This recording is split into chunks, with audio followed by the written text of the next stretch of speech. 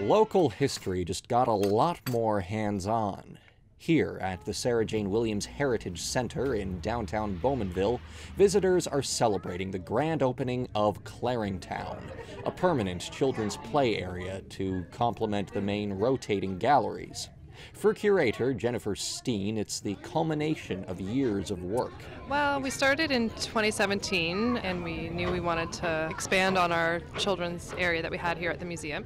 So I put a proposal towards the board and it was approved. They spent most of 2018 on fundraising, earning over $80,000 from sponsors and donors. Uh, we started working in August and installing and we're officially open today. Claringtown is split between a rural scape and a town square.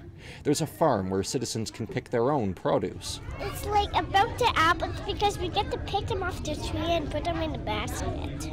After playing around at the mill, they can take their pickings into town, where there's a general store, among other features.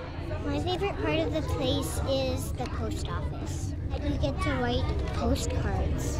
It's uh, just a, meant to be a fun, interactive place for families to come and learn about the history of Clarington. Still under construction are a bank and a pharmacy. The new bank and pharmacy should be ready within the next few weeks, and after that, employees are hoping to raise funds to build a firehouse.